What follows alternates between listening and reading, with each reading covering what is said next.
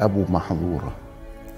وأبو محظورة كان يسخر من أذان المسلمين عندما سمعه وجلس يسير خلف النبي بعدة أمتار وهو يقلد الأذان ساخرا منه وكان أبو محظورة جميل الصوت فالتفت إليه النبي صلى الله عليه وسلم أيضا وقال ماذا تقول يا أبا محظورة؟ قال لا أقول شيئا.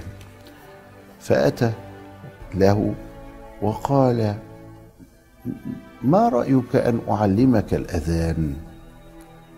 قال علمني. فعلمه الأذان.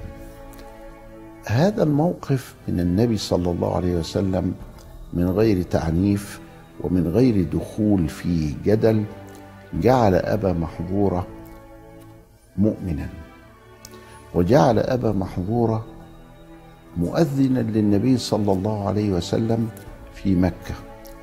كان مؤذن النبي بلال عبد الله بن أم مكتوم واحد جاي من قبيلة اسمها صداء فكان يسمى بأخي صداء.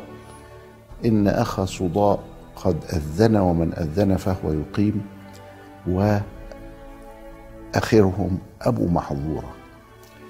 وظل أبو محظوره يؤذن وهو ابن عشرين سنة واحد وعشرين سنة وبدلا من السخرية التي كانت فيه تحولت كفاءة صوته الجميل الحلو إلى الدعوة إلى السلام وإلى الله سبحانه وتعالى وإلى الحقيقة أنه أشهد أن لا إله إلا الله وأن محمدا رسول الله. لكن هذا الشباب تغير. تغير من حال إلى حال. فسن الشباب هو سن التغيير. إن الله لا يغير ما بقوم حتى يغيروا ما بأنفسهم. ولذلك سن الشباب هو سن الأمل في التغيير.